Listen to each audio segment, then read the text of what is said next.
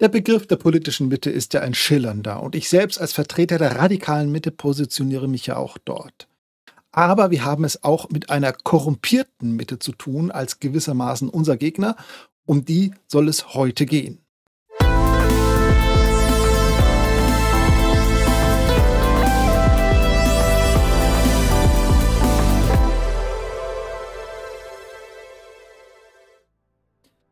Der Anlass des heutigen Videos ist ein Artikel auf den Nachdenkseiten.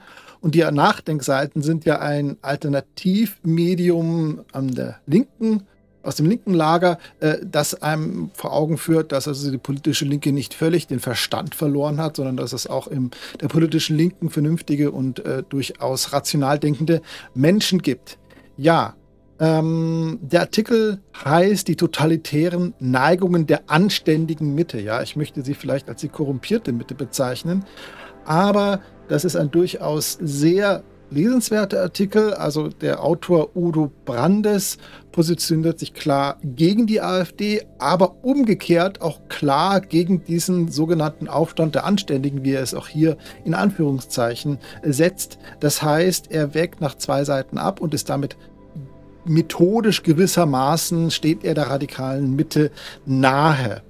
Und deswegen äh, ist es aus meiner Sicht durchaus sehr interessant, sich diesen Artikel eben näher anzuschauen. Ich möchte nur einige Schlaglichter auf diesen Artikel werfen. Zum einen kommt er hier äh, darauf zu sprechen, dass also während der Corona-Zeit es also sehr unbotmäßige Äußerungen auch aus dem Mainstream gab. Also sprichwörtlich ikonisch war ja Nikolaus Blome, Ressortleiter Politik und Gesellschaft in der zentralen Redaktion der RTL Mediengruppe und auch Kolumnist eben bei Spiegel. Auf ihn geht das Zitat zurück. Ich hingegen möchte an dieser Stelle ausdrücklich um gesellschaftliche Nachteile für all jene ersuchen, die freiwillig auf eine Impfung verzichten. Möge die gesamte Republik mit dem Finger auf sie zeigen. Ja, und äh, Blome war jetzt nicht der Einzige, der sich derart geäußert hat. Ja, und wie auch immer man zu, zu Impfung und Corona steht, ist hier nicht so sehr das Thema. Es geht vielmehr darum, dass hier ganz klar in einer unbotmäßigen und auch für die Demokratie äußerst bedenklichen Weise gegen Ungeimpfte gehetzt wurde, gegen Menschen, die also von dem Recht auf körperliche Unversehrtheit Gebrauch machen wollten, auch im Sinne des Nürnberger Kodex. Zur Erinnerung, der Nürnberger Kodex ist eine, wie soll ich sagen, ein Minimalstandard für äh, medizinische Ethik, der vor dem Hintergrund der Erfahrung des Nationalsozialismus und der Menschenexperimente, die es dort in den KZs gegeben hat, ähm, eben ganz klare Standards äh, festlegt, was Ärzte sozusagen nicht machen dürfen, wozu sie sich nicht hergeben dürfen. Und Zwangsexperimente ähm, gehören eben dazu, medizinischer Art. Und da der, diese RMNA-Impfstoffe zur Corona-Zeit eben auch damals nur experimentell zugelassen waren, also es, oder vorläufig zugelassen waren, sodass also es immer auch noch theoretisch möglich war, dass sie die endgültige Zulassung gar nicht bekommen, handelt es sich definitiv um eine Art medizinisches Experiment. Das ist so der, der Hintergrund, ja. Ähm, gut. Ähm, Tatsache ist, und das ist, habe ich auch schon mehrfach darauf hingewiesen, dass also derartige Äußerungen, wie sie damals en vogue waren im politischen Mainstream, im Grunde genommen den Tatsachenbestand der Volksverhetzung äh, erfüllen. Ja, da muss man mal im Gesetz nachschauen und äh, die Formulierung im Gesetz ist äh, hinreichend schwammig, um auch sozusagen derartige Äußerung als für Volksverhetzung verstehen zu können. Nur äh, ist hat, ist mir keine Rechtsprechung bekannt, dass derartige Ausfälligkeiten dann auch als Volksverhetzung geahndet wurden, was klar macht, dass so ein Gummiparagraf wie der der Volksverhetzung dann auch immer eigentlich im Sinne der Regierungslinie ausgelegt wird, leider. Und es sich damit eigentlich nicht um ein, ich will mal sagen, universalistisches Gesetz handelt, sondern ein klar um ein im Grunde genommen meinungsbeschränktes Gesetz zugunsten der Regierungslinie. Also es wird niemals dann so ausgelegt, dass hier regierungsnahe Volksverhetzungen gewissermaßen auch geahndet werden. Das ist leider die Rechtspraxis, die wir dann in der Wirklichkeit beobachten können, weswegen für mich eine derartige Gesetzgebung äußerst fragwürdig ist. Also ich bin der Meinung eigentlich, ähm, dass Meinungsfreiheit richtig verstanden im Sinne der US-Verfassung ist und dass wir deswegen derartige Gesetze eigentlich gar nicht brauchen. Ja. Äh, gut. Ähm, ja. der Autor stellt hier zu Recht fest, dass man also äh, sich nicht vorstellen braucht, was, äh, was passieren würde, wenn entsprechende Äußerungen mit ähnlichen Forderungen von AfD-Politikern aufgestellt würden, was dann sozusagen los wäre. Ja? Da wäre der Volksverpetzer dann gleich um die Ecke, um das dann hochgradig auch zu skandalisieren und er wäre wahrlich auch nicht der Einzige. Ja. Gut, ja, kommt dann darauf zu sprechen, dass also diese während Corona ähm, er tatsächlich ein Stück weit den Glauben an die Deu das deutsche Demokratieverständnis verloren hat. Und ich kann das gut nachvollziehen. Und ich glaube tatsächlich, dass die Deutschen bis heute ein Problem mit der Demokratie haben. Denn wir dürfen nicht vergessen, die Deutschen äh, sind äh, 1945 oder 1949, je nachdem, äh, auf die ähnliche Weise Demokraten geworden, wie sie 1933 äh, Nazis wurden oder Mitläufer wurden. Ja? Das heißt, im Grunde genommen aus Opportunismus heraus. Ja? Also nicht unbedingt ähm, aus inniger Überzeugung, aber das war 1933 eine Welle, des Opportunismus. Die Leute sind massenhaft in die Partei eingetreten, weil es eben opportun war. Und so waren dann eben auch 1945 die Deutschen massenhaft Demokraten. Ich glaube, dass beides nicht besonders aufrecht war, führt aber dazu, dass die Deutschen bis heute eigentlich ein wie ich finde, fragwürdiges Demokratieverständnis haben. Also ein nicht wirklich substanziell gereiftes, nicht durch, eine, durch einen Freiheitskampf, ich will mal sagen, errungenes, würdiges Demokratieverständnis, sondern immer ein Demokratieverständnis mit dem äh, realen oder auch dem virtuellen Gewehrlauf im Rücken, ja, also ein unfreies Demokratieverständnis, ja. Und das ist äh, sehr bitter, ja, denn die Frage ist, wie kann man das reparieren? Ja, also das äh, wirklich eine ernsthafte Frage. Und die schwerwiegenden Korrosionserscheinungen, die unsere Demokratie zeitigt, ähm, sind auch darauf zurückzuführen, dass wir eben ein vergleichsweise schlechtes Demokratieverständnis haben, eine vergleichsweise schlechte und schwache Demokratiekultur auch. Ja, dazu kommt, dass auch von Seiten der Regierungen, insbesondere Nancy Faeser tut sich ja immer wieder durch wirklich ähm, ja, Randalieren in der freiheitlich-demokratischen Grundordnung, ähm, zeichnet sie sich aus. Ähm, und äh, unter ihrer Ägide ist ja ein neuer ja, Tatbestand äh, für die vermeintliche Verfassungsfeindlichkeit geschaffen worden. Und das nennt sich Delegitimierung des Staates. Das ist auch wieder so ein Gummiparagraph, der geschaffen wird. Also ist ja kein richtiger Paragraph, aber es ist sozusagen eine, ein Kapitel im Verfassungsschutzbericht. Ähm, und das ist an sich ja schon ein fragwürdiges Instrument, denn im Grunde genommen handelt es sich wie so eine Art äh, um so eine Art Schattenrechtsprechung, diese Verfassungsschutzberichte. Also dort wird sozusagen, werden sozusagen äh, politische äh, Gegner markiert, beziehungsweise bestimmte Akteure eben äh, gekennzeichnet und äh, da, das äh, nimmt die dann sozusagen schon nimmt ihnen dann schon erhebliches an Legitimität, zumindest in der öffentlichen Diskussion. Aber das ist natürlich fragwürdig, ob man sich nicht hier im Grunde genommen an der wirklichen Rechtsprechung vorbei bewegt und wir sozusagen so mit diesen Verfassungsschutzberechten und den entsprechenden Einschätzungen äh, eine Art Schattenjudikative geschaffen wird, die aber eben in vollkommener Abhängigkeit von der Exekutive existiert. Denn das sind ja weisungsgebundene Institutionen und damit letztlich auch den Regierungen dienende Institutionen und auch den regierenden Parteien dienende Institutionen. Ja, das muss man ganz klar sagen an dieser Stelle. Ja, und hier heißt es eben beispielsweise aus dem Verfassungsschutzbericht 2021 wird hier zitiert, diese Form der Delegitimierung erfolgt meist nicht durch eine unmittelbare Infragestellung der Demokratie als solche, sondern über eine ständige Agitation gegen und Verächtlichmachung von demokratisch legitimierten Repräsentantinnen und Repräsentanten sowie Institutionen des Staates und ihrer Entscheidungen. Hierdurch kann das Vertrauen in die staatlichen Systeme insgesamt erschüttert und dessen Funktionsfähigkeit beeinträchtigt werden. Eine derartige Agitation steht im Widerspruch zu elementaren Verfassungsgrundsätzen wie dem Demokratieprinzip oder der Rechtsstaatsprinzip. Also das letzten Satz, da mache ich mal ein ganz grundsätzliches Fragezeichen. Das scheint mir einfach ähm, ideologisch begründet oder äh, opportunistisch begründet. Es scheint mir nicht der Sache nach nicht gerechtfertigt. Denn was hier äh, beschrieben wird, ja, ein, un, eine ähm, in Frage stellen, äh, also ein ständiges Agitieren und verächtlich machen demokratisch legitimierte Repräsentantinnen und Repräsentanten, ja, ist in meinen Augen ein Grundrecht in der Demokratie. Also nehmen wir beispielsweise mal das Satire Magazin der Titanic. Das macht die ständig. Sie macht sich ständig lustig über Vertreter des, unserer Demokratie und macht sie, wenn man so will, ver verächtlich, gibt sie dem Spottpreis etc. Und sowas wie die Titanic gehört zur Demokratie dazu und zur freien Meinungsäußerung und egal unter welchen politischen Vorzeichen, solange gewisse äh, Minimalstandards wie äh, Beleidigung etc. Äh, eingehalten werden, also nicht beleidigen, ja, äh, ist das absolut legitim in meinen Augen. Ja, ähm, ja also nochmal. Herrschaft ist per se nicht legitim in einer Demokratie, sondern sie muss sich legitimieren. Ja, das ist das Prinzip. Das heißt, die Delegitimierung des Staates ist in gewisser Hinsicht eine Bürgerpflicht in der Demokratie. Das heißt, der Staat muss durch die Bevölkerung, durch die mediale Öffentlichkeit etc. ständig unter Legitimierungsdruck gesetzt werden. Das ist ein elementares und essentielles Prinzip in der Demokratie, ja, dass der Staat in der Legitimierungspflicht ist, dass er ständig seine Legitimität nachweisen muss äh, und Wahlen sind da in meines Erachtens nur ein Bestandteil.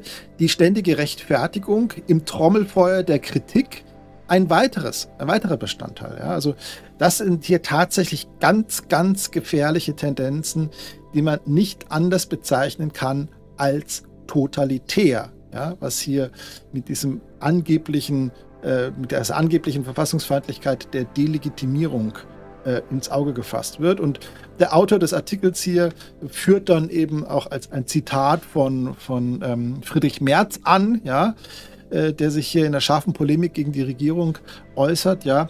Es ist einfach nur noch peinlich, so schreibt Merz oder sagte, sagte Merz, was wir von Ihnen hier sehen und hören. Sie sind ein Klempner der Macht. Ihnen fehlt jede Vorstellung davon, wie dieses Land sich in den nächsten Jahren weiterentwickeln soll. Sie können es nicht. Die Schuhe, in denen Sie stehen als Bundeskanzler der Bundesrepublik Deutschland, sind Ihnen mindestens zwei Schuhnummern zu groß. Ja?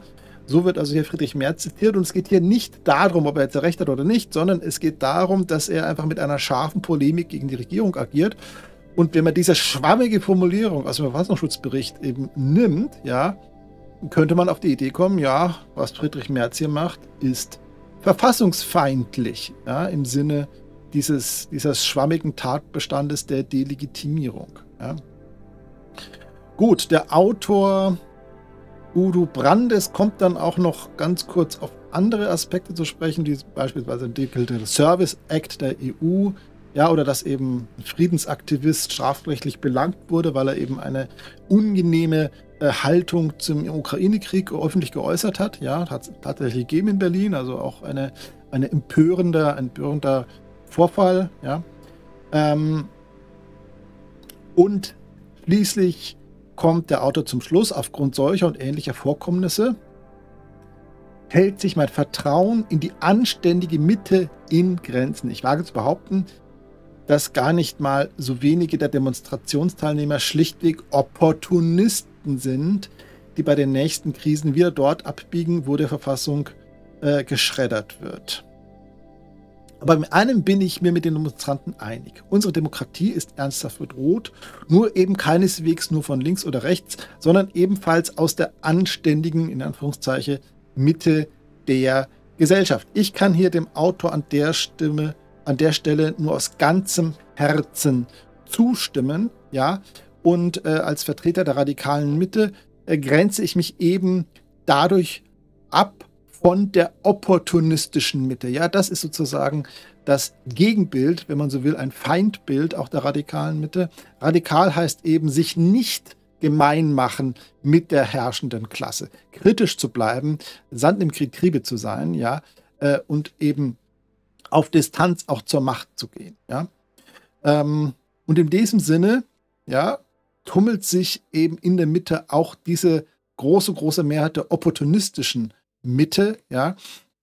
Und diese opportunistische Mitte ist zumindest im, in medialer Hinsicht ganz klar rot-grün zu verorten, ja.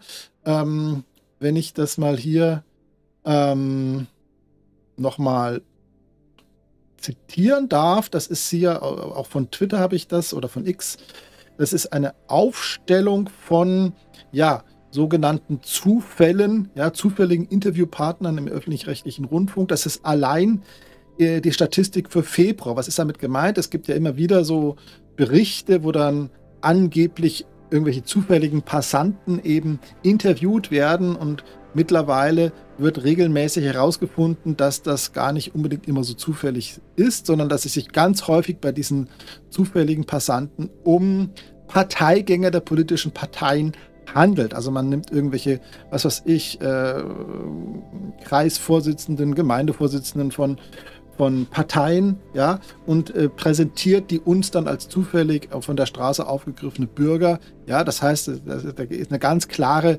parteipolitische Schlagseite häufig bei solchen Interviews. Ähm, und hier gibt es eben die Statistik, wie diese ja dann in der Regel nicht benannten Parteimitgliedschaften von solchen zufälligen Passanten in Anführungszeichen, äh, wie die sich verteilt. Und da sehen wir eben, dass ein Drittel bei der SPD bzw. der SPÖ ist, also scheinbar ein paar, auch ein paar Fälle aus Österreich mit dabei, ein Viertel bei den Grünen, ein Viertel bei CDU, ja, und dann marginal eben äh, FDP, Freie Wähler, ÖDP und Linke, ja. Noch zwei Rundfunkräte sind mit dabei, das ist besonders kurios aus meiner Sicht, ja. Und wir sehen natürlich, spricht dieses Tortendiagramm in keiner Weise äh, der Repräsentation im Parlament und schon erst recht nicht dem Meinungsbild in der Bevölkerung, was hier Rot-Grün praktisch eine Zweidrittelmehrheit hat bei der uns präsentierten angeblichen Volksmeinung, ja, ist im Parlament aktuell, glaube ich, so etwa bei, bei 30 Prozent, also nicht mal die Hälfte. Ja. Gut, ähm, wie sich, wie äh, es um diese opportunistische Mitte steht, ja, die hier vom, äh, vom Autor des Artikels äh, als tendenziell totalitär äh, benannt wird, gibt hier noch ein kleines Schlaglicht von einer Demonstration hier im Zusammenhang gegen diese ähm, Demonstration gegen Recht. Das ist eine kleinere Veranstaltung, aber wir sehen hier äh, ein Plakat von eine Fahne von der SPD und hier rote Karte für die AfD. Und schauen wir mal, wie bunt und divers hier äh, dieses Völkchen ist. Wurden sie seit 2020 im Rahmen der Pandemie beschnitten und ausgehebelt? Das darf man natürlich nicht sagen. Geht nach Hause. Okay. Auf Wiedersehen nach Hause. Auf Wiedersehen.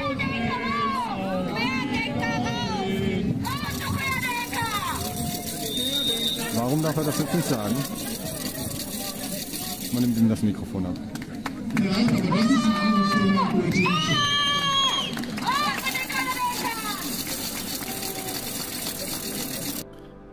Ja, da sehen wir, ähm, also mit der äh, Toleranz ist es nicht weit her in vielen Teilen dieser opportunistischen Mitte, ja. Das heißt, wenn jemand äh, hier auf, der, auf so einer Demonstration spricht und einem, einen Standpunkt vertritt, der dem absoluten Mainstream widerspricht oder ihn zumindest in Teilen in Frage stellt, dann wird er erbarmungslos ausgebot. Und meine Lieben, die weltanschauliche Diversität, das ist die eigentliche Herausforderung, ja.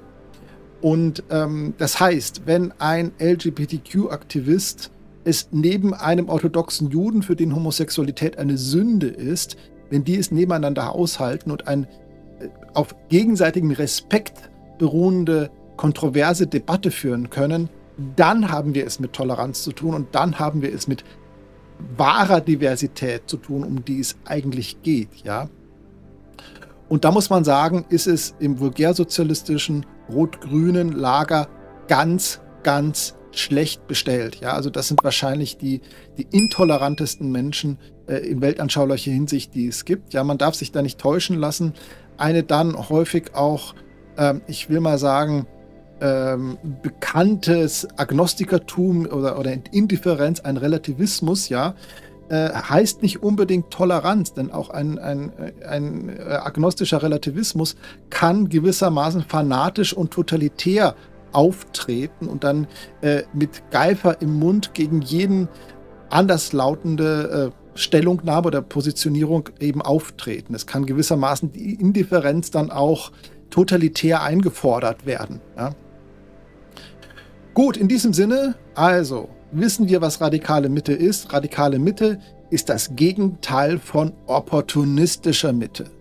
In diesem Sinne, wenn euch sowas gefällt, wenn ihr damit sympathisiert, lasst ein Like da, lasst ein Abo da, drückt die Glocke und tschüss, bis zum nächsten Mal.